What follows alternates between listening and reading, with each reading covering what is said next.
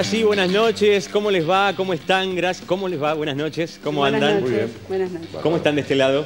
Javier Aragón, gracias por venir, ¿eh? No, gracias por la invitación. Bueno, muchas gracias. Vamos a hablar de un tema, eh, dos temas muy importantes este, hoy. Periodista de La Voz y Diario 1 de la ciudad. Y Néstor Berini también, gracias por estar Muchas gracias una a vez. Buenas más. noches. Gracias. ¿Cómo andan por este lado? ¿Bien? Bien, muy bien. Bueno, tema importante ¿Qué tema, hoy. ¿Qué tema importante? Para esto ya le damos la bienvenida a la, a la ministra Buenas Rosario Romero. Gracias por estar, ¿eh? Al contrario, gracias por la invitación. Gracias por venir. La verdad es que nos parece, bueno, a todos los ciudadanos un tema este, súper importante lo que pasó. Causó sorpresa en general en la, en la ciudadanía, ¿no? Mucha, Mucha, sorpresa, pero sorpresa. lo cierto es que la investigación viene con un tiempo, data de un tiempo. Viene de más de un año, eh, de manos del juez federal de Concepción del Uruguay, el doctor Pablo Ceró, y de manos de la policía también, porque los jueces federales pueden, eh, pueden apoyarse en la labor policía Sí. de Entre Ríos o gendarmería o policía federal. Ajá. Y habitualmente el juez federal de Concepción del Uruguay se apoya en la policía de Entre Ríos, le tiene mucha confianza, especialmente cuando trabaja en labores de narcotráfico, digamos, Sí. de investigación en narcotráfico, se apoya en toda la gente de la división específica de toxicología. Claro, ministra, ¿y esto surgió a partir de denuncias este, anónimas? ¿De qué tipo, digamos, cuál fue el puntapié para esta investigación? el origen de la causa no lo sé. Sé que venían desde hace mucho tiempo con escuchas telefónicas, con lo que se llama estado de sospecha. Es decir, establecen una cantidad de, de- de sistemas y mecanismos para hacer una investigación y venían desde hace mucho tiempo. Las, las escuchas son de horas, horas de conversaciones cruzadas Sí. para lograr hacer estos 24 allanamientos simultáneos prácticamente, porque empezaron el, el sábado 27 al mediodía y terminaron Fueron creo que a las 0.30 del 28. 24 allanamientos. 24 entre en el departamento de Villaguay Sí. y en provincia de Buenos En, Aires. en Moreno, ¿no? En provincia de Buenos Aires. En sí, provincia de. Buenos Aires. Vale. Eh, hay, este, declara- ya declararon algunos oficiales, ¿no, Claudia? Sí, Al- sí, sí. Le quería preguntar justamente a la ministra, eh, si a lo que se conoce, a los eh, policías que están detenidos y demás, si se agregó algún elemento nuevo, por ejemplo, en el día de hoy o ayer. Bueno, no lo sé porque eso forma parte del expediente, de la causa. Lo que sí es que hay cuatro policías detenidos, uno de ellos es eh, do- dos sargentos, un cabo y un subcomisario, y hay sospechados, un comisario inspector y un, co- un comisario. Es decir, no están detenidos, pero están involucrados en la causa. Una pregunta, ministra. Eh, hay un dato que surge como llamativo, que abre como una puerta a otros temas, que es eh, la declaración de dos de los policías involucrados que dicen ser adictos a, la- a las drogas y que en este marco se involucran en, en- en- en este caso. Quería preguntarle si había estadísticas, si es una problemática, si, qué, qué hay respecto al personal policial y el consumo de drogas que afecta a toda la población y se supone que también puede estar afectando a Sí, las no es un dato que tenga envergadura dentro de la fuerza policial. Sí hay casos aislados, incluso ha habido casos en que se les da una licencia para que hagan tratamiento. Yo puntualmente he conocido, en el año que llevo de función, he conocido casos que han venido con diagnóstico profesional, que les hemos dado una licencia para que hagan el tratamiento. Eh, recordemos que la ley, la ley 23737, que es la ley nacional, establece lo que se llama la medida educativa o la medida curativa, que las personas que están sometidas a un proceso penal y dicen ser adictos, Sí. y eso cobra verosimilitud en el proceso, eh, se, se pueden ver sin, eh, pueden llegar a la no aplicación de pena respecto a esas personas si las personas se someten a, Ah, un tratamiento. A un tratamiento. ¿Esto Eh, será como pero- una estrategia claro. o Puede será...? ser. Claro. A veces se da como una estrategia, otras veces realmente se vinculan con el mundo del narcotráfico a partir de la adicción. Esto también se da. Claro, claro. Hay una cosa que acá también hay que considerar y sin duda no se le va a escapar al juez. Todas las bandas de narcotraficantes siempre intentan cooptar agentes estatales. Siempre intentan para lograr protección o impunidad eh, apoyarse en alguno que esté dentro del Estado, sea un claro. funcionario público o sea. Un funcionario Exacto, policial. exacto. Eso Ah, yo le quería preguntar. Sí, Ana, sí. Eh, yo al revés que vos, Lalo, Ujú. a mí la noticia no me, sor- no me sorprendió, digamos. ¿No? No. No, es que una cuestión este, personal. no, no, creo que es una cuestión personal que tengo yo una percepción como que a lo mejor asocio la policía con droga o con coima, es una cuestión mía. Sí. No vamos a, a decir que todos los, los No decís policías que es son así, corruptos. sino que es tu, tu, tu Sí, percepción. y tampoco digo que son todos. No, claro, claro. Eh, ha- habrá algunos. Es una, por eso aclaro bien que es una Pero te parece percepción- algo que puede ser habitual, digamos. Sí, y también me acuerdo cuando tratamos el tema drogas acá, que vinieron unas madres y nos contaban, y ellas decían que todo el mundo sabía dónde estaba la droga, y como que veían que no se actuaba. Entonces yo le quería preguntar, ¿es tan así? Bueno, eh, precisamente por eso la provincia, por esto última, esta última observación, la provincia adhirió a la Ley Nacional 26.052, estableciendo esa ley que le llamamos de narcomenudeo. claro. ¿Por qué?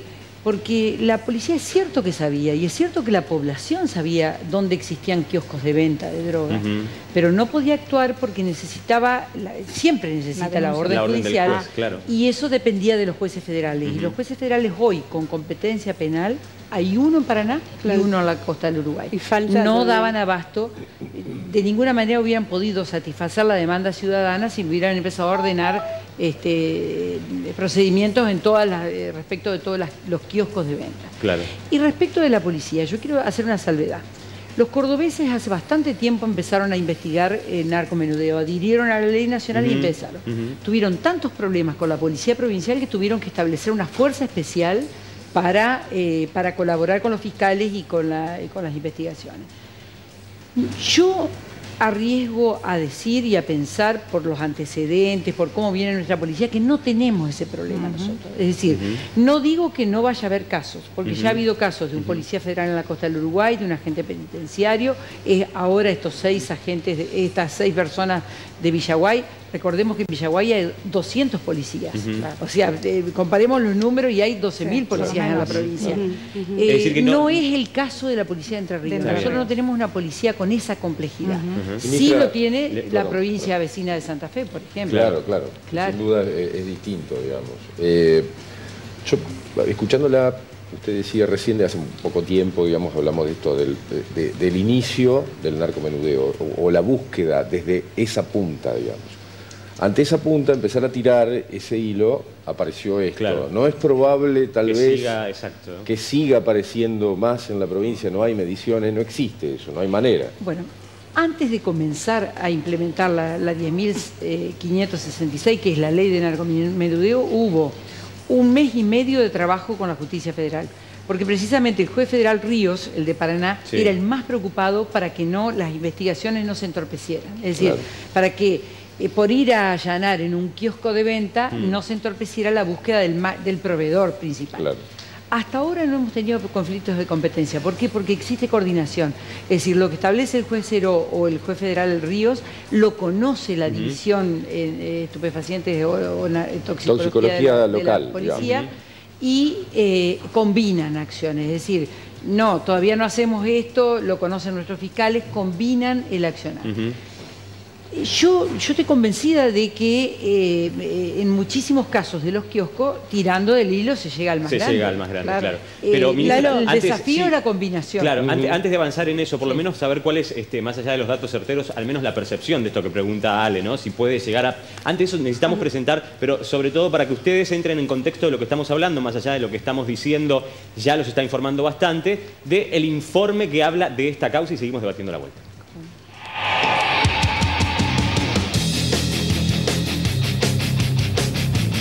El escándalo y la sospecha golpean a la policía de Entre Ríos. El sábado, en un operativo por narcotráfico impulsado por la Justicia Federal de Concepción del Uruguay, se realizaron 24 allanamientos en la ciudad de Villaguay, en simultáneo con otros efectuados en el partido bonaerense de Moreno.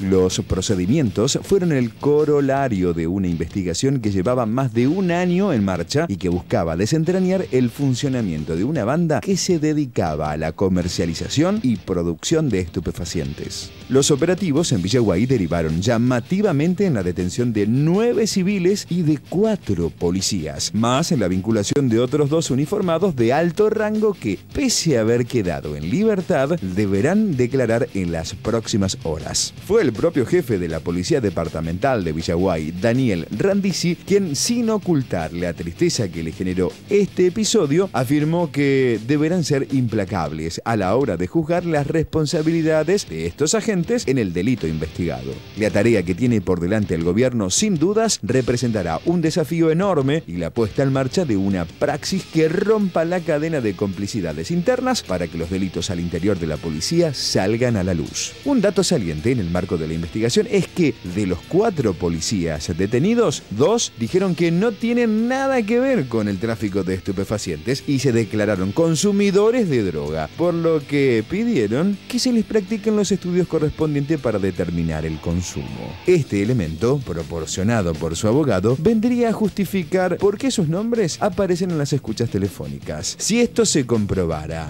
¿la ley prevé un trato especial?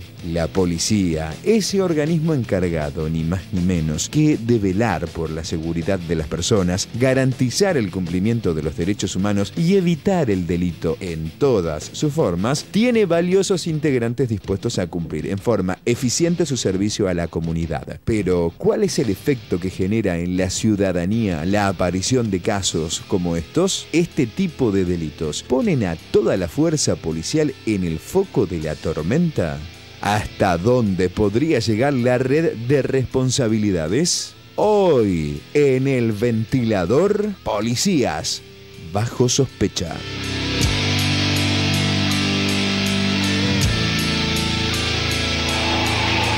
Claro, el, el informe pregunta también lo que Ale decía hace un rato, hasta dónde podría llegar la red de, vi- de vinculaciones. Pero yo también este, pienso, ¿no? Cuando en, en causas, en investigaciones, los imputados y los procesados son los policías, ¿qué, qué- cuál es la imagen, digamos, que queda de la policía? Recién Ana tiró un poco este, el, el- el Sí. disparador Es que el con informe, esto. El informe Para es muy contundente respecto de que a quién asignamos la seguridad, la garantía de los derechos humanos. Sí, y por eso vuelve a estar en debate el tema del narcomenudeo, porque quienes criticaban esta iniciativa decían como que era darle un, poder a la policía de Entre Ríos que supuestamente no, no debía corresponderle. Ahora, yo digo digamos, para el- está un poco en juego eso Para también. el Vox digamos. Populi, digo, ¿esto mancha a la policía o es algo que por, lo, por, por el contrario, digamos... Yo creo que eh, ayudaría, y le pregunto también a la ministra, ¿ayudaría en esto que haya una política de comunicación distinta, que por ejemplo sea desde la misma fuerza o del ministerio a su cargo, que transparente absolutamente todo para que los medios puedan informar con toda certeza qué pasó, porque liberaría de toda sospecha al resto de la policía que no tiene nada que ver. Si y bien también tiene- es una causa, ¿no? Debe tener sus... Claro, sus debe tener, sí, un marco de- Sí. del proceso. Pero digo, quizás otro tipo de comunicación de crisis que ayude para que los medios puedan informar y despejar dudas sobre el, resto de la policía. Sobre la, que, la claro. policía como institución, claro. ¿Qué, qué le parece con yo, respecto yo a lo eso? que veo, yo veo una policía completamente dispuesta a segregar a todos aquellos miembros de la fuerza que, que- que incurran en un delito. ¿Y por qué lo veo así? Porque ustedes imagínense que durante un año había un procedimiento que venía haciéndose en conjunto con el juez federal. Claro, claro. Si hubiera habido algún marco de Y nadie se complicidad enteró. o de... Nadie se enteró. No, Claro. no. Eso no se filtró. Yo como ministra me enteré el día que iban a empezar a hacerse el allanamiento, me dijeron, Claro. eh, le aviso, me dice el jefe de Claro. policía, que van, va- empiezan en este momento 24 allanamientos Ajá. dispuestos por la justicia federal, porque le van a empezar a llamar de, de- Claro. de- Ministra, del lugar. entonces, es decir, hubo tal sigilo y tal cumplimiento de la disposición judicial eso es- eso es que se demuestra contundentemente Claro. que la policía estaba dispuesta a investigarse hacia adentro. evidentemente. Y esto es así, o sea, no hay sector en la, en la población que esté sustraído. No sé quién de ustedes dijo hoy, el narcotráfico es un problema que tiene la población argentina. Claro, Dejamos claro. hace años de ser un país de paso claro. y hay un segmento de la población que consume. Eh, la policía no va a estar ajena al delito. Lo importante es que no haya una complicidad, un apañamiento. Digamos, nuestra un- policía Una no es- frustración de los procesos judiciales de mano de la policía. Nuestra policía no, necesi- no necesita la depuración que se hizo Yo en la creo- provincia de Buenos Aires, La digamos. necesitan mediante la, la mano de la justicia en estos casos y los seguimientos. Ha mejorado- ha no mejorado- veo que tenga ese problema Claro. que tenía de cuadros así dirigenciales de la policía eh, que, que estaban completamente comprometidos con el delito, Claro. como pasó en Buenos Aires. Claro. sí. Antes uno, uno por ahí se enteraba de algunos allanamientos y cuestiones que terminaban haciendo sapo y se sospechaba algún tipo de pase de datos. En este caso la policía de la provincia hizo la investigación durante un año y pico Exactamente. Y no hubo filtración y hubo Sí, efectividad en el Ahora, Mirá, Claro. si sirve como dato, me comentaban hoy que en esta investigación estuvo trabajando un sargento, bajo las órdenes de Pablo Ceró, obviamente, un sargento de policía que me dijeron de la vieja escuela, Sí. junto me con su hijo. ¿Te dijeron lo mismo? Sí, como un comentario así como de, de- como un cuadro, digamos, Sí, dándole, un referente eh, un- importante de la vieja Me guardia. dijeron con un legajo intachable. Eh, me parece que esto también hace un poco a abordar este tipo de, de situación, porque estamos hablando de un policía formado con otros parámetros. Porque la formación de los policías también está un poco eh, en, en el tapete. Sí, es cierto. Yo respecto de algunas cuestiones que se estaban diciendo de eh, si esto manchaba toda la fuerza, yo creo que no.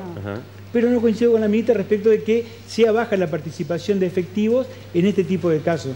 Mirá, eh, cuando se, se desbarató la banda del gordo Mario González, Sí. eh, ahí estuvo involucrado un, un alto jefe de la policía, era jefe de operaciones de toxicología, que eh, fue sobreseído en un primer momento, pero posteriormente casación sostuvo que debía ser investigado por el supuesto delito de encubrimiento porque se señalaba algo que acaba de decir Mariano, que eh, aportar datos de los allanamientos que Claro, se van a hacer. exacto. Después cuando se también se desbarató la banda del Gordo Nico, ahí eh, se, se reveló la participación de un policía que tiene relación con otros policías que est- están investigando su responsabilidad ahora respecto de algunos casos que han conmocionado al, al- al mundillo político de la ciudad.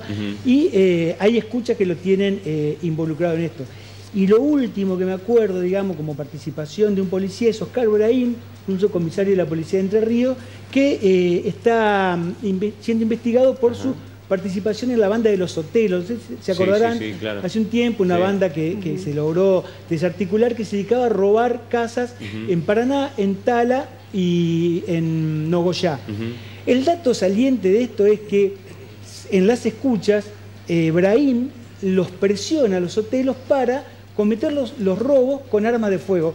Los hoteles roban sin armas, hacen trabajo de inteligencia, son ladrones de la vieja escuela. Claro. Bueno, en la escucha telefónica se, se- se- se puede advertir que Brahim le- lo- les exige cometer- llevar armas para cometer Sí, los robos. sí, sí, claro. Pero no obstante, le- a- además de eso, les dice, tenemos que ampliar el negocio a la venta de drogas.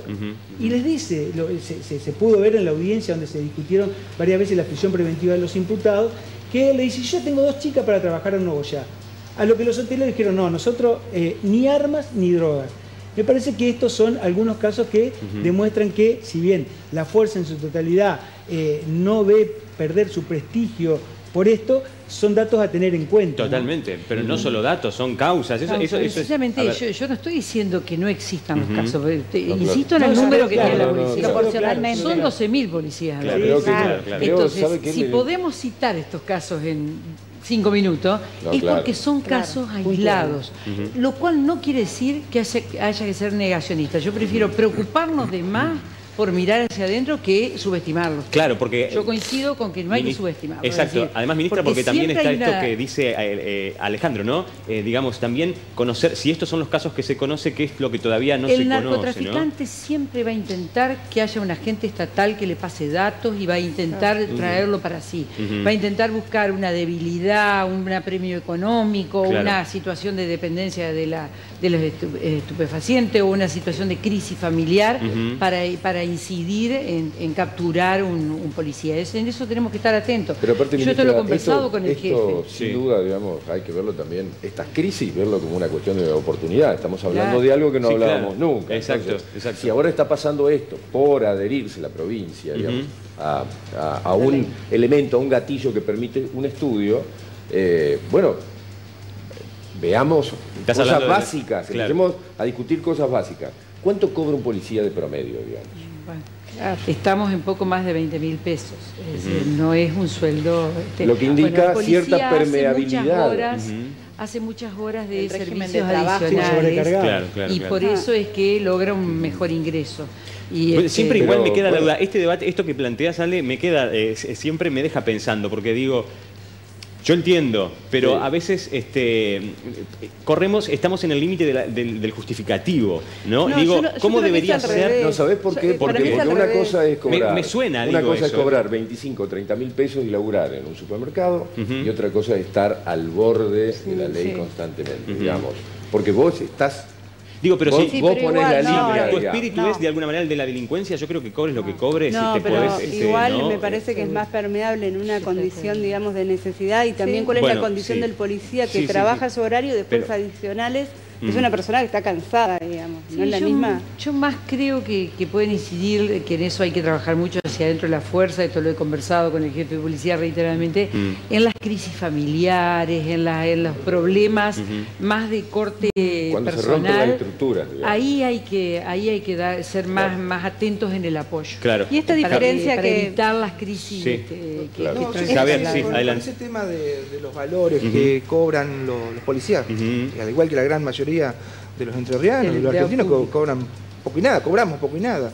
Pero, mm, Enfermeros, pero, médicos, por incluso. supuesto, y, y cubren con total este em, con, con- con Eficiencia. mucha Sí. eficiencia Sí, sí. eh, su tarea. Pero eh, me contaba un- una autoridad eh, policial de, de Villaguay, que yo creo que es muy honesto, que incluso le apuntaron en algunos dimes y diretes estos días de los, de los mensajes de WhatsApp que le apuntaban justamente que también formaba parte de la organización como jefe o su jefe, bueno, Sí. eh, que no llegó ahí, Ajá. creo hasta el momento no ha llegado, Ajá. y se ha demostrado claramente que no tiene nada que ver. eh, el negocio que manejaba esta organización, no es una organización chica, si quedaba para cuatro o cinco policías entre 200 mil pesos para distribuir simplemente para que le pasen los datos, los días que se iban a hacer los operativos o los días que se podían llegar a poner pesados con los controles y liberarle eh, el ingreso de la droga que venía desde Moreno. Vos decís que lo que había de fondo era mucho Pero más que muchísimo. eso. Estamos hablando de Mm. 100 mil a 200 mil pesos que se repartían. Ministra, Eh, ¿usted comparte que estamos frente a una organización mucho más grande, digamos, y que esta es la punta del ovillo, como dice Alejandro?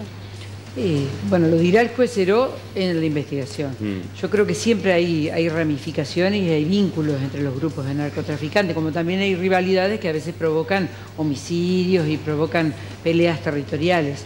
Me contaban fuentes estoy- de- Lo que sí estoy segura de que Entre Ríos es una provincia que eh, a través de todos los, los- los estamentos del Estado, los- el Estado provincial y el Estado nacional, eh, establece un- una hostilidad hacia el narcotraficante. Porque ensamblando las tareas de los jueces federales, que ahora van a ser más en la provincia, va, va a haber uno más en, uno en Victoria, otro en Gualeguaychú y va a haber en Concordia, con la tarea que hoy están haciendo nuestros fiscales y jueces provinciales, que es muy importante, ya hay más de 200 personas detenidas por los procedimientos de narcomenudeo, yo creo que eh, va a ser un mensaje muy contundente hacia que van a empezar a perder bienes, van a empezar, como ya lo, hemos hecho, recuperamos autos, recuperamos dinero, recuperamos este, armas del, narco- del narcotraficante. Entre Ríos tiene que establecer ese anillo de hostilidad y, tarea de, persecución del delito. En eso hay que ser enfáticos.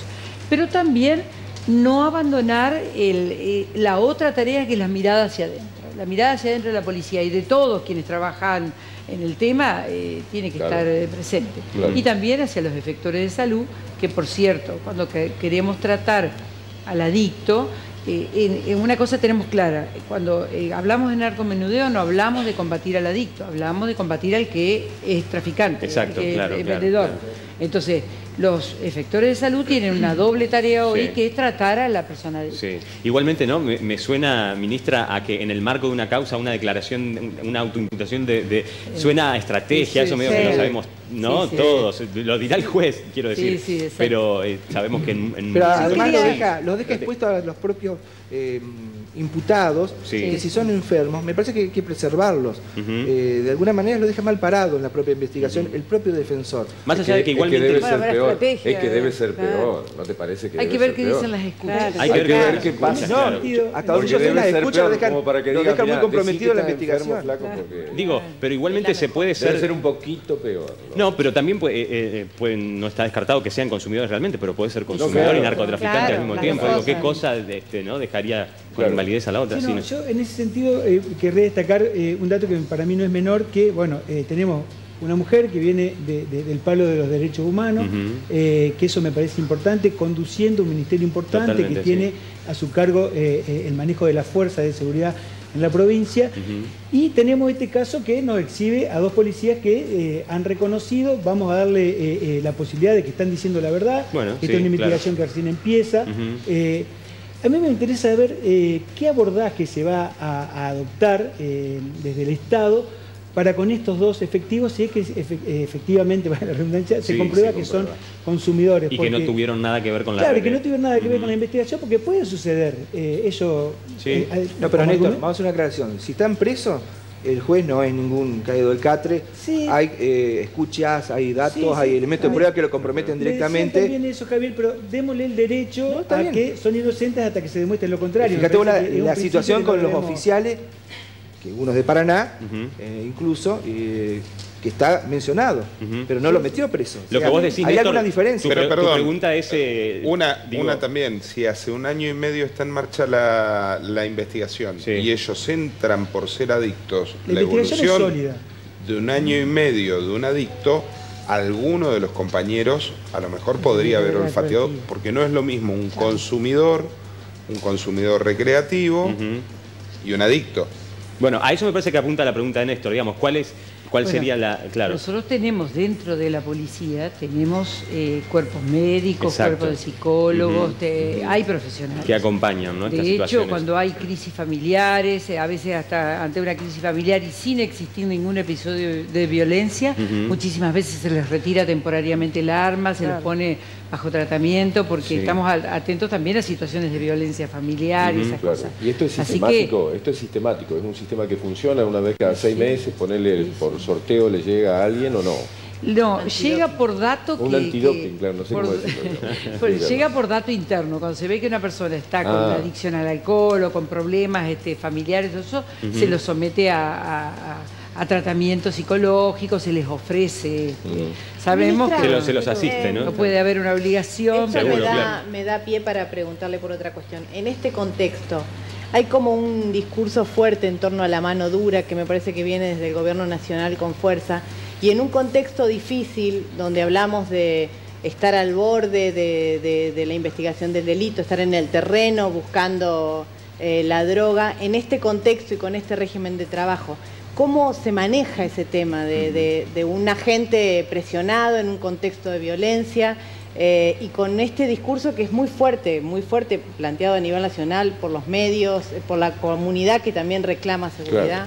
Pero nosotros conocemos, este, Luz, como periodista de- de- debes conocer, eh, tenemos una formación, tanto en Villaguay, la formación de los, de los este, suboficiales o agentes, como en Paraná la, la formación de agentes, eh, de oficiales, en que hemos hecho hincapié en la formación en derechos humanos y de hecho esa cátedra de derechos humanos existe en todos nues- nuestros institutos de formación y en los de las fuerzas de seguridad también. Eso es, eh, es vital y eh, que, que siga, digamos, que sea una política de Estado y la venimos sosteniendo en la provincia desde el año 1988 en adelante. Hay cátedra de derechos humanos en todos nuestros institutos de formación. No obstante, siempre se hacen talleres, se hacen capacitaciones especiales, se hacen tareas con lo- las altas jerarquías Sí. de, la, de la fuerza. El año pasado, eh, nuestros, eh, los, los que se recibieron eh, fueron a, a hacer, eh, ta- eh, hacen viajes de estudios vinculados a determinadas temáticas, fueron a hacer específicamente formación en, en- en combate al, al narcotráfico, digamos. Claro. Este año van a ser otro tipo. Sin embargo, Pero cuando la hablamos- mirada sí. de, de derechos humanos está siempre. Está. No estamos alentando políticas de mano dura, pero sí tenemos claro que eso no significa en absoluto ser tolerantes con el delito. Yo creo que el delito, si las sociedades no tienen una- un criterio de que a la norma hay que hacerla cumplir, fracasamos en la implementación del derecho penal. Tenemos todo un sistema penal que es enormemente costoso, si no funciona para que las normas funcionen. eh, no- es interesante ese límite que está establec- Sí, estableciendo es la un límite porque este, es el, es límite que genera la discusión permanente, permanentemente, ¿no? A uno los y a otro no. Lo que pasa, Pero la norma lo- tiene que funcionar. Sí, la ley pero tiene que funcionar. A, A mí me parece que es al revés que funciona hacia, la, hacia adentro de la policía, doctora. Se lo digo con mayor de lo respeto. Hay mayor mano dura ahora en estas gestiones de gobierno de no permitirle al policía de no, ante la duda, se toman las medidas eh, que son Bueno, pero necesarias. eso Por eso mano digo, dura con el agente. la mano dura hacia Adentro, adentro, ¿no? y Claro. antes eran medios, Claro. medios blanditos. Sí.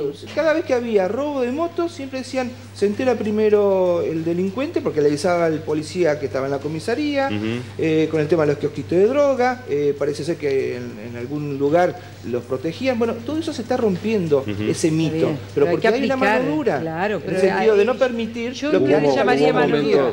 Yo le llamaría- claro, la vigencia mano de las dura, normas, o sea, es decir, la investigación del ruso normas. contra Exacto. Celis demostró un montón de situaciones, digamos, históricas que vienen de hace mucho tiempo. pero que donde siguen estando vigentes. Los datos existían y era real, digamos. Ujú. Pero que Entonces, siguen estando vigentes. ahí No. hubo una gran modificación, está bien, Claro. qué sé yo. Gente, Siguen- tenemos, tenemos, ahora, ahora seguimos, eh, porque es interesante este punto. Tenemos mensajes de ustedes del otro lado. Andrea, buenas noches, ¿cómo va? Buenas noches, muchos mensajes. Miguel nos escribe y nos dice, el hecho de que hayan detenido a policías corruptos por miembros de la misma policía habla muy bien de la salud moral que tiene la institución. Felicito por esta acción y pienso y creo que de esta manera se debe actuar. Hola, buenas noches. Creo que en Paraná, en Villaguay, en toda la provincia, se sabe mucho más de lo que en realidad se anima a denunciar. Y en estos casos es porque hay mucha gente con poder que tapan estas cosas. Algunos son policías, pero solo algunos, no todos. Hay también muy buenos policías, como hay buenos periodistas, buenos enfermeros, nue- buenos médicos. Hola, buenas noches. Le pregunto a la ministra, si los hilos de esta investigación llevan a algún funcionario político, ¿también se va a actuar hasta las últimas circunstancias? Hola, buenas noches. Les sugiero que miremos a los vecinos santafesinos. Ahí sí que no se salva nadie. La droga envuelve a todos y no se investiga nada. Aquí por lo menos sabemos estos hechos. Ojalá se siga investigando y se paguen las responsabilidades. Hola, buenas noches. Aprovecho para felicitar a la ministra por haberle pedido la renuncia al secretario de Trabajo. Creo que no es eh, un buen funcionario, más conociendo el caso irregular que se conoció. Hola, buenas noches. Yo pienso como Ana, creo que estos hechos no ayudan a nadie y menos a la policía. Mira, bueno. Hay Eh, un punto, An- Lalo, que me Sí, parece que hay que diferenciar y mirar un poco lo que pasa en Bueno, Rosario, en Santa Fe, lo que pasa en el conurbano de Buenos Aires. Sí. Bueno, tal vez Entre Ríos más chico, pero... eh, Pero no por eso menos- Un jefe menos de grave. policía de Santa Fe fue llevado a juicio. En Entre Eh, Ríos hay no hay estructuras, cocina, hay Javier, estructuras de poder. no es tanta. Hay estructuras de poder que forman parte del mundo narco. En Ujú. Entre Ríos habrá, por supuesto, gente que esté vinculada Claro. con la droga. Ahora, en un Creo que esto que Sí. dice Néstor es interesante, digamos. ¿Cuál es el diagnóstico de Entre Ríos en el tema del narcotráfico, narcomenudeo, drogas, en relación a lo que puede ser Santa Fe? Somos cocina, somos provincia de tránsito. Eso también define qué tipo de policía puede hacer uso de... Yo creo que podría definir que, que somos bastante más efectivos en el combate a ese delito. Y desde mayo en adelante, muchísimo más. ¿Por qué desde mayo? Porque Desde la- tenemos más resultados, tenemos más juzgamientos de, de casos, eh, más eh, narcotraficantes importantes presos, bandas este, descubiertas, y eso se nota, se ¿Cómo, nota en la, cómo está la- impactando eso en, al momento de, de la situación en las cárceles? Porque una de las discusiones del narcomenudeo fue no tenemos las suficientes Ujú, unidades La capacidad, penales. exacto. Es uno de los problemas a resolver. Nosotros hace ocho años empezamos a implementar un código acusatorio. Teníamos 700 internos en nuestras cárceles, hoy tenemos 2.400, 2.500. Ujú. Es decir, se triplicó Tremendo. Y tenemos de esos 500 que son presos federales. El- los federales, los presos federales, muchísimos de ellos con proceso, otros condenados. También el delito mayoritario es narcotráfico. Narcotráfico, claro. Eh, Pero es una de mayo ahora enorme, ¿eh? aumentamos 200, es decir, de mayo ahora tenemos 200 personas detenidas por este procedimiento. Es decir, van a, van a aumento permanente, sí, digamos. tenemos ahora. construcciones en Paraná, Sí, en Federal una que acabamos de terminar, Sí. en Concordia, la de, la de Paraná se va a terminar en noviembre, va a albergar 80 personas más. ¿Dónde está situada, lo recuerdas? En la misma unidad En la penal, misma unidad, pero en la parte de atrás, digamos, más lindera con el- en la parte de atrás Exacto, del- sí, sí. de la unidad penal. Es una construcción que se arrancó de cero y que tiene un patio central, sanitarios propios, dos naves con, con celdas, este, es una construcción a cero. Eh, la misma construcción con un poco más de capacidad está en Concordia, en Sí. institución, Pensamos en los primeros meses del año que viene a terminarse. Se acaba de terminar una construcción en Uruguay. Estamos emprendiendo una nueva en la, en la cárcel Granja de Gualeguaychú y con la ministra de Salud, hemos recorrido hace poco, ustedes lo habrán visto en las noticias, el viejo hospital monovalente de salud mental de Federal. Sí, exacto. Tiene, era, una, era un antiguo regimiento. Eh, eh, hoy hay una cárcel, que es la cárcel más, más moderna de la provincia, está en Federal. Eh, pero lindero está el Hospital de El Salud hospital Mental, que sí. tiene seis naves enormes, Enormes. pero muy grandes, Sí, que pueden ser utilizadas para eh, unidad penal. en ese hospital psiquiátrico. No tendríamos allí problema con los vecinos de Federal, porque en realidad el vecino de Federal ya está habituado que ahí hay una cárcel, es el mismo lugar prácticamente, y hemos acordado que ese predio va a pasar a la unidad de Federal y allí vamos a emprender una... una- Manteniendo igualmente algunos de los pabellones para los... Yo soy de por Federal supuesto. y conozco el Toda el la lugar. parte de adelante se mantendría Para y el estos hospital son psiquiátrico. lo que, lo que antes eran las caballerizas, Exacto, están en la sí, parte sí. de atrás. Sí, sí. Esos seis, esas seis naves grandes que eran las caballerizas, una de ellas está cerrada. Eh, Es un predio enorme que está pegado, es cierto, a la cárcel Pegado. actualmente. Lalo, Lalo, Lalo, cuenta ministra como- Tenemos últimas preguntas porque Ah, tenemos que ir al te corte. pero- un dato a lo que decía la doctora. Sí. Eh, hoy me decía un juez de garantías de Paraná que me parece no es menor esto que me, informaba, que las provincias de Formosa y Santiago del Estero oficialmente pidieron datos de la ley de narcomenudeo a Entre Ríos porque está- ellos ven allá que está funcionando muy bien. Sí. Entonces eh, pidieron que jueces de garantía, personal policial, Sí, autoridades sí, sí. de gobierno Sí. se trasladen a Formosa y Santiago en las próximas, los próximos días para hacer cursos de capacitación. Porque es un modelo lo que se está dando Porque en Ríos Formosa está donde empezando el proceso, Claro. sí. Me pareció importante Sí. destacarlo. Yo quisiera volver a un tema que me parece que quedó casi sin cerrar, eh, cortito, ver, sí, sí, eh, que cortito. tiene que ver con la situación de estos dos efectivos que dijeron ser consumidores. Sí. El discurso punitivista relaciona delito con eh, consumo de, de Ujú. estupefacientes. Entonces podría ser una relación para analizar, ¿no? para pensar entre consumo de estupefaciente y violencia policíaca. Me da cuenta de que hubo eh, varios incidentes en estos últimos tiempos donde hubo policías involucrados y que la verdad que fueron los abordajes que hicieron del Ministerio de Gobierno fueron muy interesantes. Por ejemplo, ponerle límite a una manifestación eh, de, de la fuerza que se puso contenta porque quedó... Vos decís eh, eh, relacionar el, el- el abuso de la fuerza, del uso la de la fuerza policial Claro. con la adicción. Claro, sí, el discurso punitivista dice, mira, eh, delinquen porque son eh, drogadictos, roban para... ¿Por qué no podría aplicar a la policía eso? Tenemos dos efectivos que reconocieron públicamente ser adictos y Ujú. eh, eh, andaban por la calle armados. Claro. Eh, me parece que La verdad que es un dato punto a, interesante. a pensar sí, eh, sí, sí, es un para, para abordarlo hacer por, por una cuestión positiva, ¿no? Para, Es posible, es posible y mm, lo vamos a analizar. La verdad que Es un punto interesante, me parece. siempre Yo que hay hacer- situación de conflicto se valoran distintas cuestiones, crisis familiares, adicciones, que no y siempre... desde eh, el punto de vista de la salud, pero ¿no? sí, porque sí. el discurso, digamos, de guerra contra el que narcotráfico sí, sí, sí. a nivel mundial ha fracasado. Hoy hay otros paradigmas, justamente el de la salud, en relación al adicto, que abren nuevas posibilidades, Totalmente. incluso de, de- de Se salud y entiende. de reinserción. Sí, sí, se Pero entiende. tendría Ana, que haber un acuerdo mundial. En el caso de Sí, que no. abandonáramos Bueno, la claro. adicción, tiene que ser mundial. Exactamente. Falta Ana, Porque donde un país Perdón, gente, porque Cortito, tenemos que, cortita, tenemos que ir al, al cortita. corte Dos cortita. cosas. Una, usted contó a lo mejor alegre de todas las cárceles que se estaban haciendo y para mí es deprimente decir que necesitamos tantos lugares porque hay... Bueno. ya sé, ya sé. Es la ley penal, planes. la aplicación de la ley penal. No, y lo otro, yo le quería preguntar sobre el tema de lo- la vieja guardia o la vieja escuela de los policías que recién no sé quién mencionaba y los nuevos, porque eh, yo por ahí escuché a alguien que dijo este, como que los nuevos policías son más por necesidad que por vocación. ¿Qué le parece a usted? Bueno, yo, eh, a ver, siempre pienso, nunca pienso que todo tiempo pasado fue mejor. Mm. No soy de las personas que se sitúan en la vida así. Yo creo que eh, vamos evolucionando. Es cierto que gente con experiencia puede transmitir a las nuevas generaciones esa experiencia, pero yo dialogo con, con cadetes, con, con una gente que se de está, vocación, con de oficiales jóvenes y a mí me parece que, que Sí. salen con mucha frescura y con muchas ganas de hacer Mm. cosas. Eh, de hecho, a fines de año, este año lo vamos a hacer nuevamente, se reconocen este, actitudes de heroísmo de muchos policías, eh, asiente Javier Aragón porque sin duda ha ido a alguno de los actos, y muchísimas de esas eh, actitudes Pero, ¿sabe lo que pasa, son, provienen de chicos jóvenes. Claro, Claro, pero los reconoce Es la misma sociedad. Eh, sí. el, el ayudar en un parto, Sí, el, poner el pecho a. Pero no está mal, ¿no? Pero no, Sí. pero No, me parece muy bien que buenísimo. se haga el Claro, claro. reconocimiento. No, no, no, Pero es una pregunta más. Estamos capacitando y formando para lo mejor y formamos en valores. Cortito, Ale. Si hay más cárceles, evidentemente van a necesitar- se va a necesitar más policía. ¿Falta policía acá en la provincia? Siempre faltan, igualmente agentes penitenciarios también. Pero pensemos, pensemos desde otra perspectiva también. Dispositivos electrónicos. También tenemos que ver que la cárcel no es la única alternativa.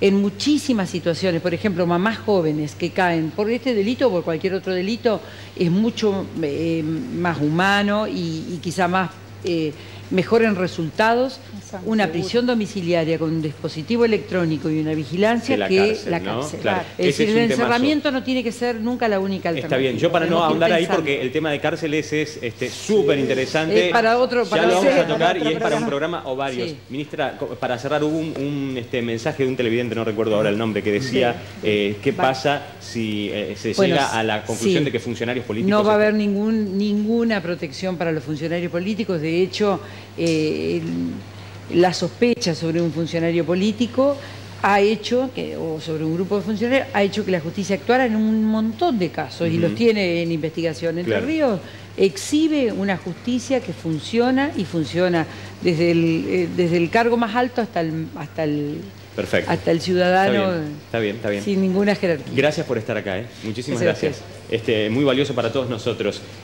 Eh, vamos a ir a la pausa breve y cuando volvamos vamos a recibir una, nueva invitada porque vamos a hablar de esta sentencia que deja firme este, que no se puede fumigar cerca de las escuelas. Esto ya es así, lo estuvimos tratando en el programa, pero queremos saber exactamente la medida, cuál es, de qué se trata. Después de la pausa breve.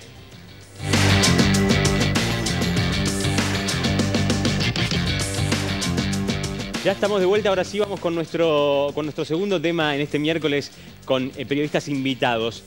Somos una provincia agroindustrial. En Entre Ríos los agrotóxicos y las fumigaciones son un tema. La verdad es que las escuelas en particular desde hace mucho están en una lucha permanente para que no se pueda fumigar cerca de las escuelas. Ahora ya hay una sentencia firme. Mirá el informe y debatimos con los invitados a la vuelta. Ah, perdón.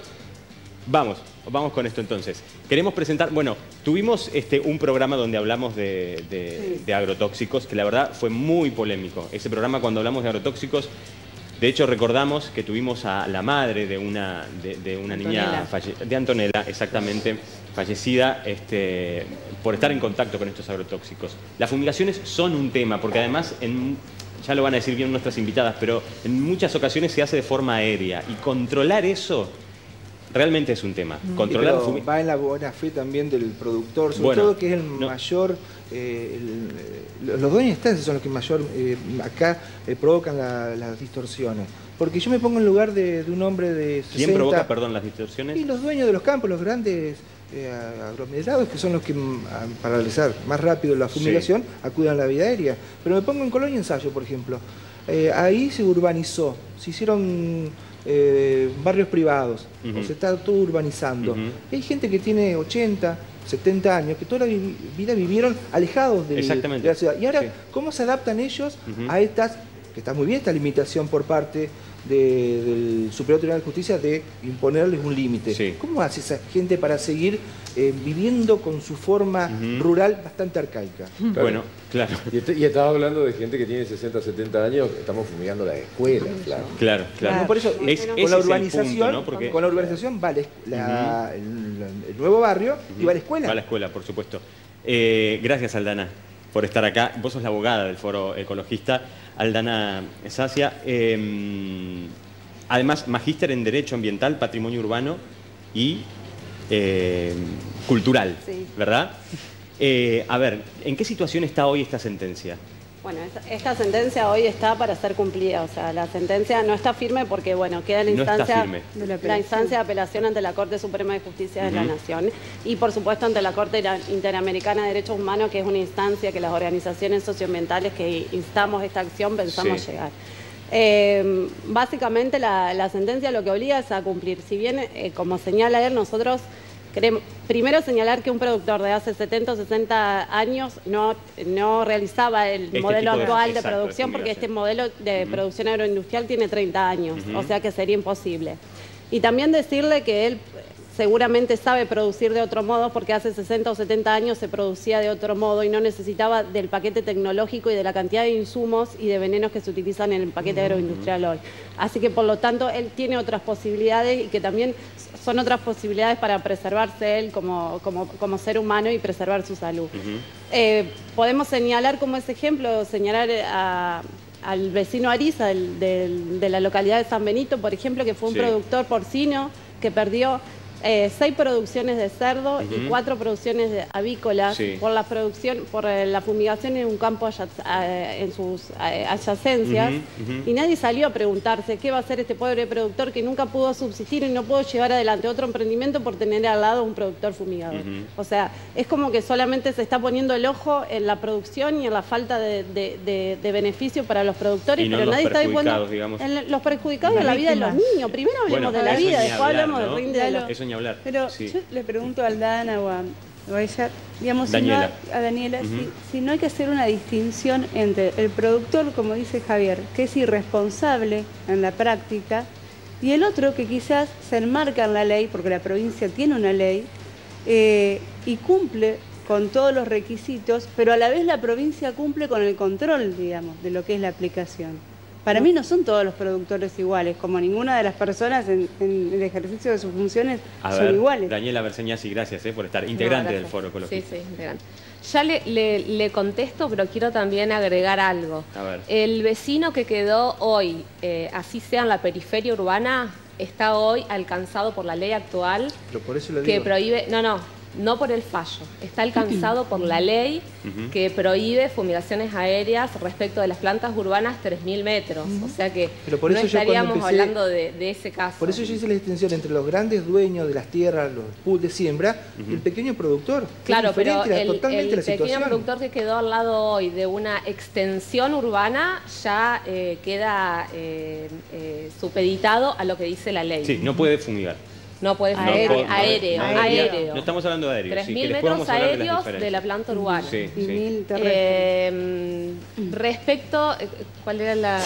No, yo decía que eh, de alguna manera siento ah, que hay una... Las buenas prácticas. Bueno, las buenas prácticas agrícolas está demostrado y, fue, estuvo, fue muy claro el ingeniero Marcos Tomasoni en la Cámara de Diputados, que se hizo este ciclo de socialización de saberes eh, hacia otro modelo productivo, que eh, existe la deriva primaria, secundaria y terciaria, por lo tanto, por más buena práctica y respeto a la al, a las leyes vigentes, a la reglamentación que tenemos, no hay forma de que el veneno no llegue. Y entonces, ¿ustedes por qué creen que la, provincia va a apelar, digamos? ¿Ustedes creen que un modelo como el de Entre Ríos va a insistir en algo que puede ser nocivo, como plantean ustedes? Mira, yo te contesto, básicamente nuestro país tiene una matriz productiva única y es el modelo agroexportador. O sea, no hay incentivo a otro tipo de industria ni, ni hay pensado otro otro método de subsistencia a nivel nacional. Entonces, ¿por qué va a apelar este fallo?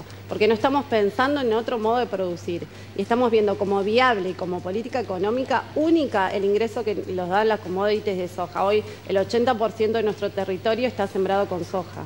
Entonces, bueno, si hablamos de los ingresos en exportaciones y de las retenciones de la soja y todo lo que le queda a la en, lo que hace a los rindes económicos, primero supuestamente va, a primar el rinde económico para, para el presupuesto del país, o sea, no para el presupuesto. Una pregunta, una preguntita respecto del fallo de hoy, porque está la posibilidad de que la provincia vuelva a apelar este fallo del Superior Tribunal de Justicia. Leía que dispone un plazo de 45 días para diseñar un plan de protección de las escuelas rurales, el, fallo del Superior. No. No lo dice no así. No, no dice eso. Lo que dice básicamente es que, exhorta al gobierno que haga un estudio, que estudie epidemiológicamente el estado de situación que tiene la salud de la población estudiantil de estas 1023 escuelas. Y lo que dice, bueno, si el Estado tiene otra posibilidad que demuestre que hay una posibilidad de seguir con este modelo y con estos venenos sin que le cause perjuicio en la salud de la población estudiantil. Entonces, ¿Y ese plazo de 45 el plazo de 45 días no existe. Ah. Te hago una pregunta. Eh, Viste que son modelos, entendí perfectamente. El modelo económico indica esto, con este paquete, plantarlo de tal manera, funciona de tal lado, digamos. En los pollos hay una barrera de verde, digamos. Existe dentro del sistema, digamos, de, esa caja, aparte de los venenos, el extractor y todo, una barrera de verde que hace que no pase la gota, digamos. ¿No se podría hacer esto? Digamos, como una Está situación planteado. absolutamente Sí, está planteado, esto lo dijo está regulado, sí. pero hablemos en claro, ¿cuánto tiene de vida un pollo? ¿Cuánto tiempo está ese pollo ahí? Capaz que nunca recibe una aplicación 45 conveniente. días. Claro, entonces no estamos hablando de subsistencia. Te lo comes. Pero de todas maneras está planteado. Te lo eso. comes- ¿Qué Sí, dice, te lo comes dice el envenenado. voto? Sí. El, el voto señaló Después, justamente, el ¿seguro? voto... ¿Seguro? Dice que protegen al pollo y Sí, no dice, protegen, protegen los lo pollos dice y no el, el se, juez. se preocuparon por, por proteger a los niños que acuden a las escuelas rurales. Justamente hay una limitación que es una extensión superior a la que tienen las casas y caseríos. Claro. O sea, tienen 100 metros los centros de producción apícola y tienen 50 pres- eh, metros la- las casas Las o casas. caserías. O sea, están Lo más cual protegidos los es una pollos. barbaridad, Claro. porque entendamos que Claro. biológicamente somos todos iguales. Claro. Entonces, si a las escuelas reconocemos que puede haber un daño, bueno, tendría que ser igual para toda la Es para todo el población. mundo, Claro. El vacío legal otro, existía.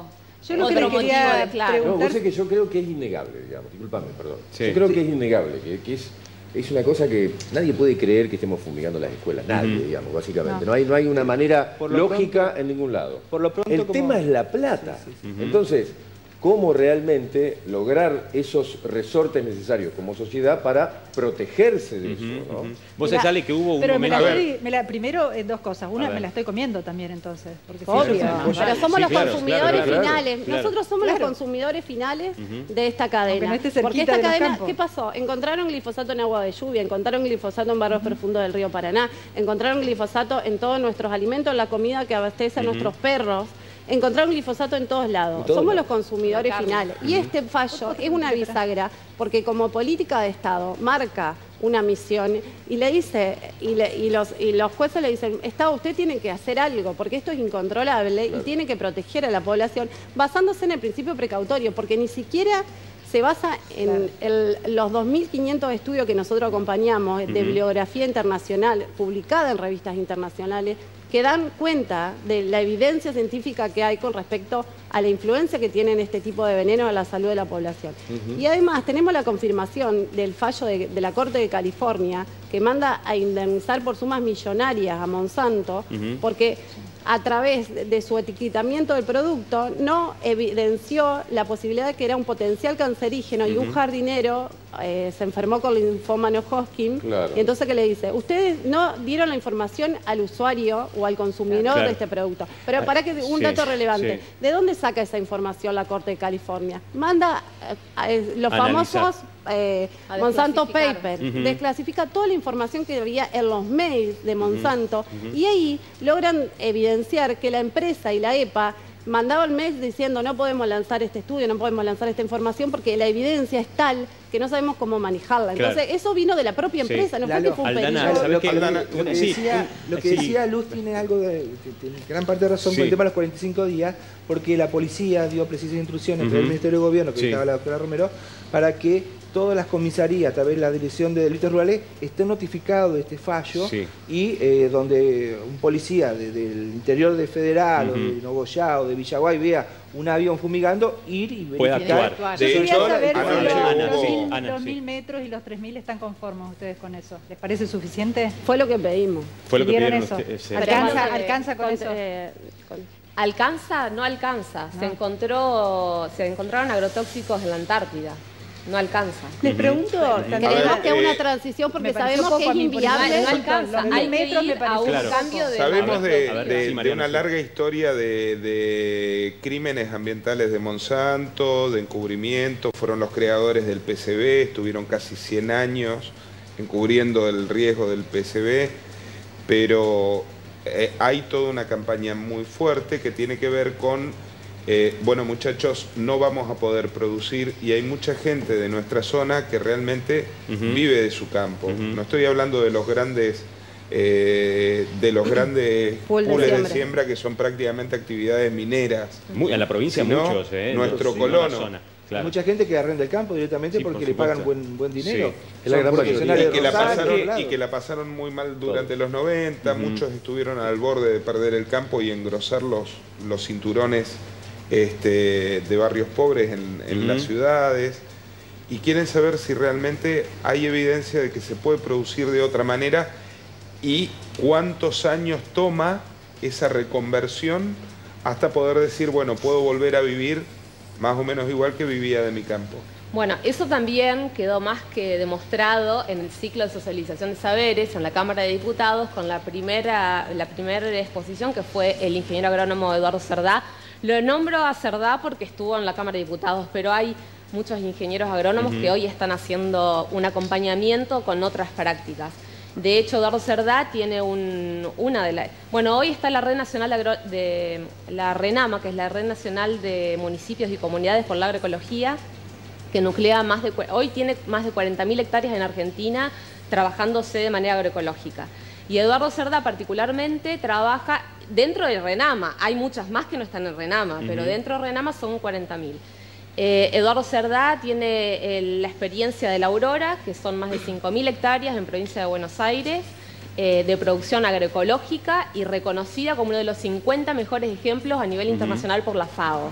O sea, de que hay más que evidencia de que hacer práctica agroecológica, biodinámica o como se le quiera llamar, que es producir alimentos, no commodities agroindustriales, sino producir alimentos se puede y sin veneno. es más caro. Eh, y que, no solamente no es más caro, sino, que, aparte, o sea, es más económico porque no tienen el costo del químico, obvio, ni de la semilla transgénica, pero aparte, hasta, hasta en algunos casos, da mayor rentabilidad. Nuestra experiencia va a ser Gualeguaychú. ¿Cuándo podremos medir los resultados de, ese fallo que terminó con Ya, Gualeguaychú cada tanto nos noticia de más de 30.000... ¿Cuánto tiempo pasa desde que vos no, eso es una, una transición. Nosotros hemos preguntado es un poco difícil. Hemos preguntado, eh, y bueno, una transición que llevará 10 años, 20 años, no mucho más. Para la provincia, pero no para un productor. Yo te pregunto, yo soy productor, digo, macana. No, eh, un año, matando, no, un año tengo la casa pegada al campo. En Entre Ríos mismo hay ejemplos hoy en funcionando de producción agroecológica que hicieron un cambio de un año para el otro. De un día para Obviamente que el rendimiento va a ser diferente. de un año para el otro. La recuperación del suelo es lo que puede Claro, el suelo tiene que recuperar. Hay una cosa, Mariano. Si vos tenés un campito así al lado de uno de Monsanto, se lo tenés que vender, flaco. ¿no? Bueno, no, bueno pero no, existe negocio. Ver, vos no podés plantear todo... un negocio de igual a igual. Sí, a ver, Néstor, sí. Una pregunta no hay manera. Respecto de los caminos que se van a seguir, se estuvo hablando recién de que uno es eh, acudir a la Corte Suprema. También leía hoy que hay otro camino que está eh, evaluando el Estado a través de distintos organismos, que es el de la vía legislativa. Por supuesto. En ese caso, ¿ustedes eh, tienen alguna esperanza de que los legisladores eh, se comprometan con esta problemática? ¿Tienen expectativa de ser escuchadas? Mira, a nivel compromiso, a nivel compromiso tuvimos la, bueno, la, em, el proyecto que presentó el diputado Urribarri de emergencia sanitaria como primero y paradigmático que estamos ante una emergencia de salud, de política de salud de Estado, o sea, porque nadie está teniendo en cuenta la cantidad de cánceres y el aumento de enfermedades que estamos teniendo en nuestra provincia. ¿A usted no les parece, Aldana, raro que Uribarri fue gobernador 10 años y de pronto dice, bueno, ahora me di cuenta que estamos en emergencia. Bueno, pero creemos, en, creemos en los cambios de la gente. fue el que trajo la represa del Paraná Medio y fue Busti el que impulsó la ley antirrepresa. O sea, nosotros celebramos, venga de quien venga, siempre que sea por estratégica política. o sea, nosotros rescatamos la política, no a las personas. Claro, a, los fines del, del Rescatamos el instrumento legal de protección y, no al diputado. O sea, es lo que pedimos. Desde la emergencia sanitaria, perdón, como el primer punto o el segundo punto de los 16 puntos que cuál presentó es el la coordinadora. De, de estar en emergencia no, y bueno, se manda justamente lo que, se, lo que nosotros decimos que no hay datos, no hay estadística. Si nosotros nos pensamos cuando éramos chicos, quién tenía un amiguito que tenga cáncer o que tenga un linfoma o que tenga leucemia, no existía. Hoy los niveles superan a cualquier media o estándar mundial. Entonces nosotros decimos, esto se tiene que registrar. ¿Por qué? Porque no es lo mismo salir a modificar la matriz productiva de una provincia con números establecidos. Yo te tiro un dato. La Organización Panamericana de la Salud hace unos meses largó un informe que dice que mueren 660 personas por día y 25 personas por hora a consecuencia de, la aplicación de, de Lo que no encuentro es la estadística provincial. No existe. Y bueno, entonces... Pero ahí va la emergencia, en todo el mundo. Pero entonces, digo, yo estoy declarando una emergencia sanitaria, pero no tengo estadística. No, pero justamente lo que busca es eso, la estadística, pero ¿por qué? Porque la alarma viene de los pueblos fumigados, la alarma viene de San Salvador y del de la propia realidad. pero yo la escuché a la diputada Carmen Toller del peronismo decir que en San Salvador el 50% de la gente tiene cáncer. Digo, el 50% de la gente de San Salvador se infartó mirando la tele esa noche. No, pero es que vos pensás que esos datos, o sea, No, esos datos vienen de los que- censos poblacionales que está haciendo la propia gente porque está alarmada y no tiene otro mecanismo como para visibilizar esto. ¿Cuál es el mecanismo que, te- que utilizarías vos si te enterás que en toda tu cuadra hay un, eh, No, en cada casa de tu vecino eh, hay un enfermo? por ahí de puede ser responsable digamos, tirar, eh, llama no la sé qué es atención lo que dijo la estemos en una condición tan grave y la provincia no diga nada. No, no haya datos. Yo no, no apela, me la voy a- provincia La- apela. No, No, me- pero digo-. No, Claro, mira, yo me voy al caso de malformaciones congénitas. O nosotros tenemos profesionales comprometidos que nos, nos hacen llegar la información de malformaciones congénitas.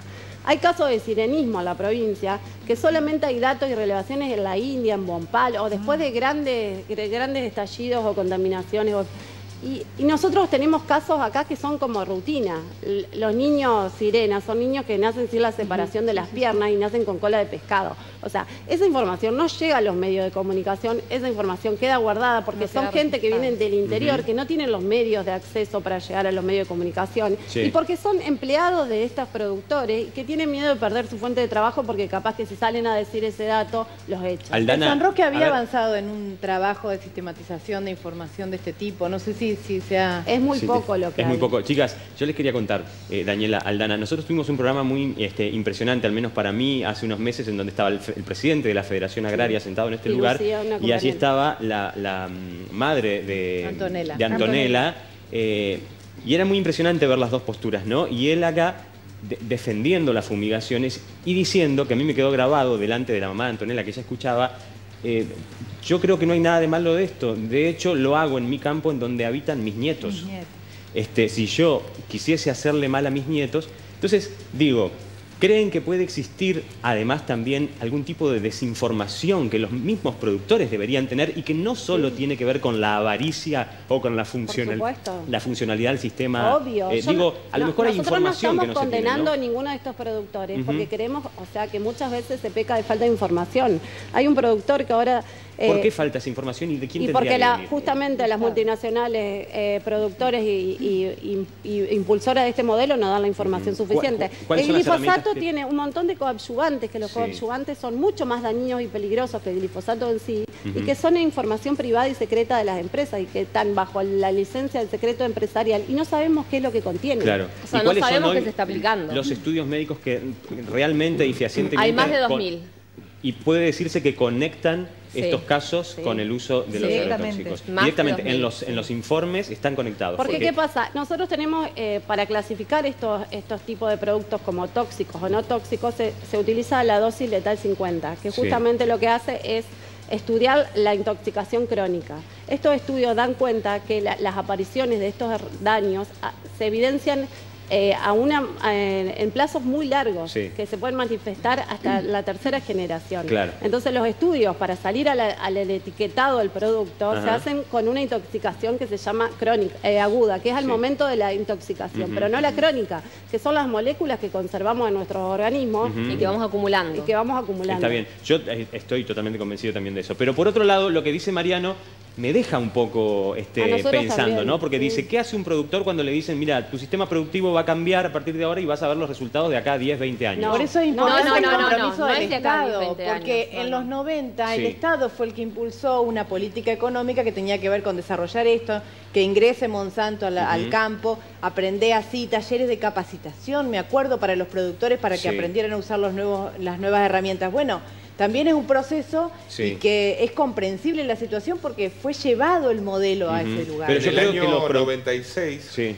eh, No, en el sí. año 76 se ingresa por primera vez soja como un cultivo exótico para empezar a probar por su gran potencial proteínico. En el año 96 se autoriza por primera vez el paquete transgénico en Argentina y va haciendo toda esta evolución. El gran estallido del paquete transgénico, inclusive a nivel mundial, está en discusión.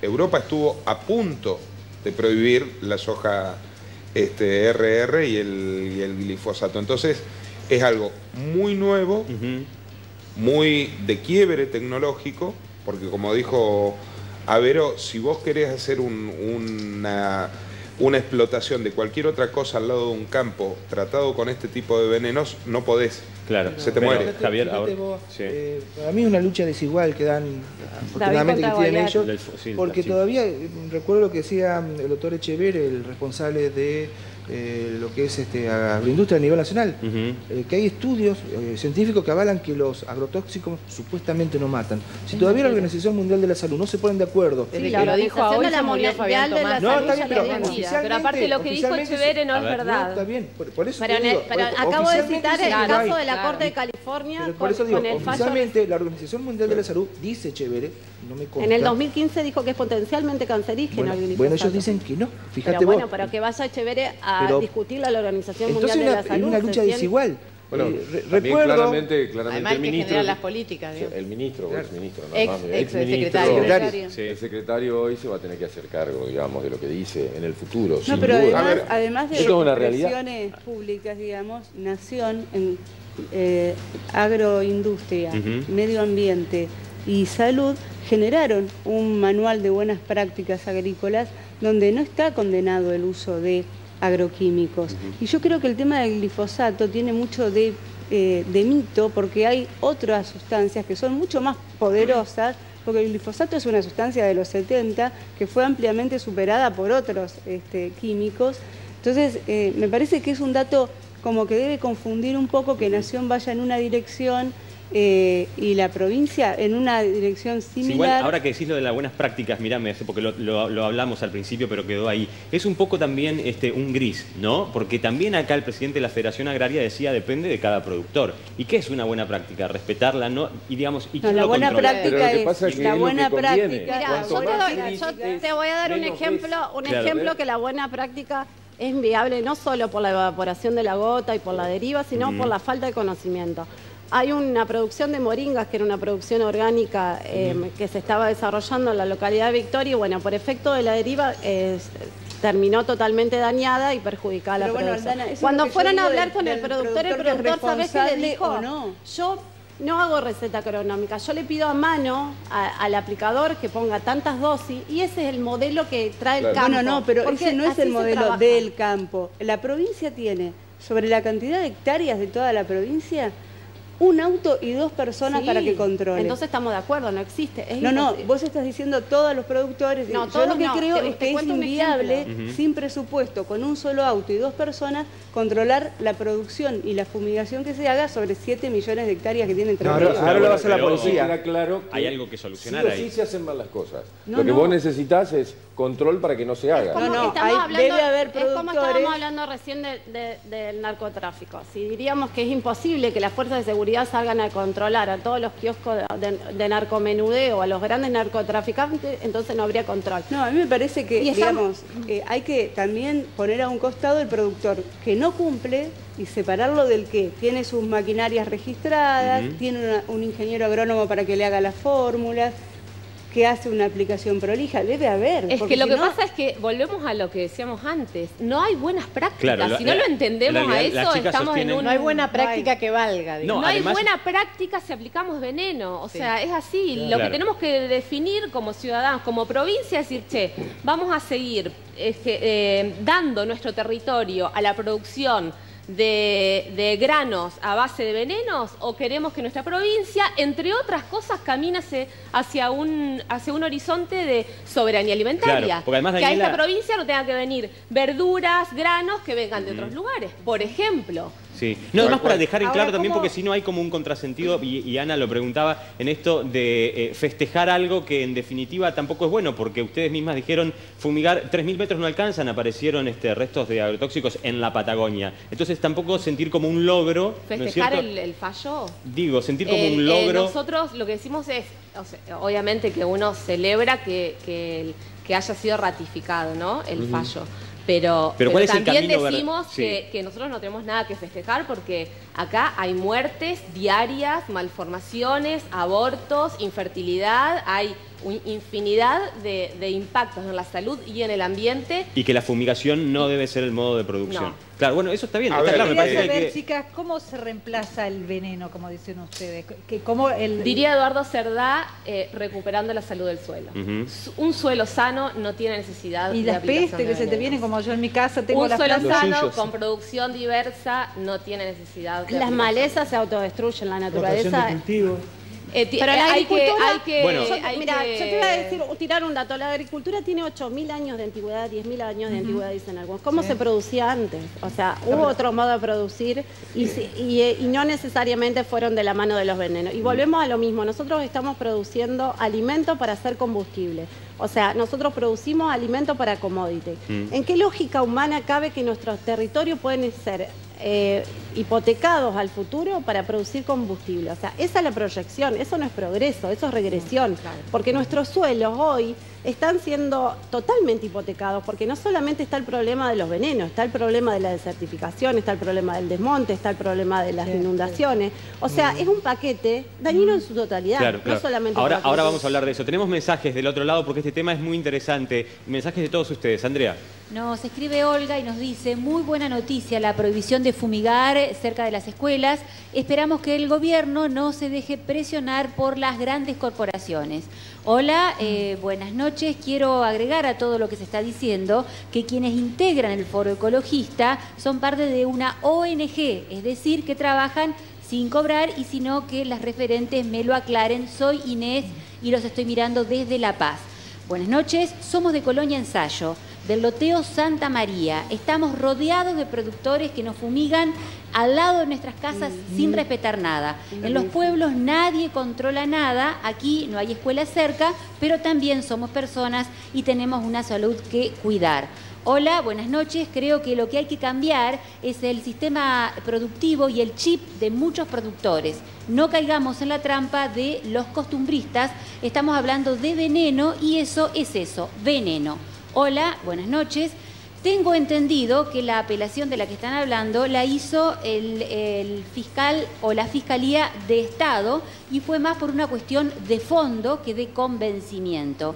¿Es así? Nos pregunta Marta. Hola, no se confunda por favor a los pequeños productores, a los que viven de eso, que los grandes que producen y se llevan la plata a cualquier otro lado.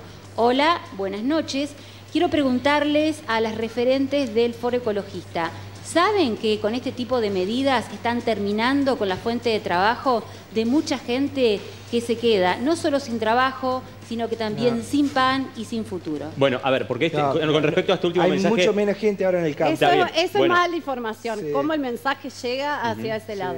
Nadie se queda sin trabajo porque no es que nosotros decimos esas tierras tienen que ser improductivas, al contrario, se puede producir y se pueden producir De otra manera. de otra manera y se puede realizar cualquier otro tipo de actividad, puede ser una producción apícola, puede ser una producción citrícola, se puede hacer a- or- eh, producción orgánica y nosotros lo que estamos diciendo, el Estado tiene que fomentar, o sea, el Estado tiene que incentivar y el Estado Sí, tiene que tiene que acompañar acompañar. a esos productores eximiéndolos de impuestos, dándole incentivos, bajándole, dándole combustible, Acompañamiento acompañamiento técnico.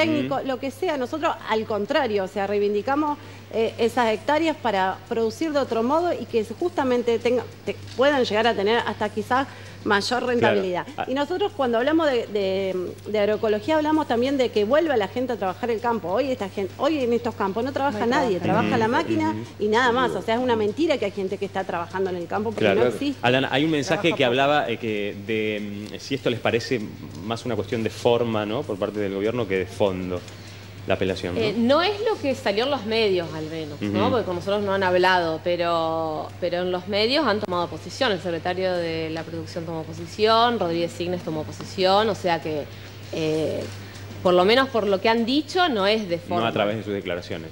Claro. Es, la verdad que es un tema, ¿no? Porque además para los entrerrianos, digo, cuando el presidente de la Federación Agraria estuvo acá, dijo, hoy no tenemos otro modo de producir. Las chicas están diciendo, sí, hay otro Sí. modo de producir, y la verdad es que si nos remontamos a la historia sabemos que Yo lo hay. que- Ahora, ¿en qué lo- lógica estamos inmersos? Lo que pasa es que en el, en el corto plazo los gobernantes necesitan del yuyito, como le decían Ujú. alguna dirigente, o la que- plata de la soja exacto. para mantener los planes sociales, la construcción, para mantener el Estado. Pero Lamentablemente necesitan que la soja salga con estos agroquímicos. Sí, pero también estaría bueno que se analice el pasivo que Ah, no, genera pero este por modelo. supuesto. Porque si nosotros vemos, por ejemplo, la obra social provincial, cuántos casos de, de infertilidad tiene que producir, o sea, el Estado que significa este modelo, el, el gasto que significa este modelo. Ujú. El No tratamiento se de pelean por las retenciones de la soja, eh, no se pelean por un modelo agroexportador, Y bueno, no, se pelean ahora- por la plata. Bueno, y ahora las retenciones de la soja no se envían más a las provincias encima, o sea, estamos hipotecando nuestro territorio por algo que ni siquiera vamos a tener beneficio económico. A, ver, Ahora, eh, sí, Mariano, sí. a mí me, me parece, yo traía a colación quién es Monsanto a lo largo de la historia del mundo. Hace pocos años, 15 años, fue condenada en Europa porque le ponía un rótulo de biodegradable a sus, a sus envases hogareños. Y fue condenada que no podía ponerlo más porque no podían demostrar de que fuera biodegradable.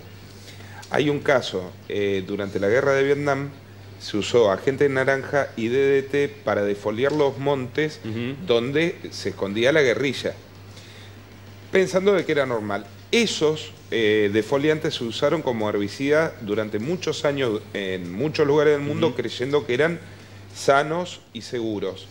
Hoy las guías de turismo de Vietnam te dicen y no recorra los bosques Tal de lugar. mangas cortas y claro.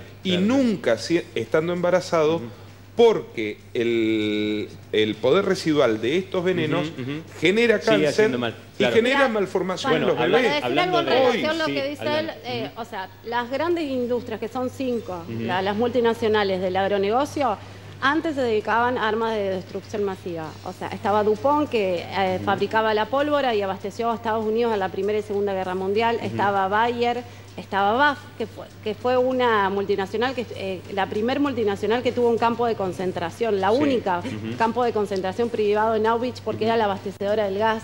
O sea, todas estas industrias están acompañadas de la química más letal que existió en nuestro territorio. ¿Qué pasó? No hubo más guerra. Entonces, ¿qué dijeron? Doc- ¿Qué producimos? Doctora, Claro, un pero- segundo. Entonces, el convencer a la, a la población de que hay una sola manera de producir es una manera de garantizar Bueno, que la ahí, centralidad ahí del vamos, porque también, por otro lado, esta, esto que están contando Y es, es muy- cierto, y conocemos, Mariano, la- las historias de las grandes Cierro. multinacionales. Sí, tenemos poquito tiempo, pero cerra. Eh, es muy impresionante escucharlo al ingeniero agrónomo Cerda y googlear las cosas que él cuenta y ver que existen. Y uno dice, ¿por qué no me habré enterado antes? Bueno, eh, chicas, gracias por estar. No, la verdad es que me parece que la tarea de ustedes y del foro eh, va más allá de este fallo ahora, ¿no? Me parece que tiene que ver con una lucha en contra directamente. Sí, la- lamentablemente terminan siendo algo en contra o una guerra entre dos partes y nosotros No, justamente pero- pensamos que estamos todo del mismo lado. Si el productor lograría entender que esto también lo daña a él y a toda su familia y a su tierra y a, y a su entorno, o sea, esto no tendría que ser una Esto último que está diciendo me parece importante, por eso yo te conté la anécdota del presidente de la Federación Agraria. Está diciendo si el productor lograra entender. Me parece que ahí sería un, un buen punto. Digo, todos lo tendríamos que entenderlo, pero los productores también, porque es cierto lo de las historias este, de las grandes multinacionales, pero hay muchos productores eh, entrerrianos que no tienen ni idea de las grandes multinacionales, que tienen su fracción este, de campo y que quieren producir. Y que hay una peligrosidad en los agrotóxicos que hay que conocer. A mí me Tienen- parece que tienen sí. entender que sus nietos no van a poder hacer ese laburo. De ninguna manera, porque es probable que estén enfermos o haya situaciones Pero, nuevas. Flaco, tampoco, tampoco hay una política del Estado de concientizar al productor, de llevarle tal vez las buenas Ahí voy, prácticas. exacto, me parece No, y la resistencia fracasa, que se está generando a la maleza aumentó en el 2016 un 858% el uso de agrotóxicos en 20 años por la resistencia que están teniendo Exacto, las malezas. exacto. Entonces cada vez mayor el uso de veneno, Exacto. no es que va en, en disminución. Eso es, un, eso es un buen punto. Gracias, chicas, por estar. ¿eh? Bueno, Muchísimas gracias, gracias por venir. Gracias a todos ustedes. ¿eh?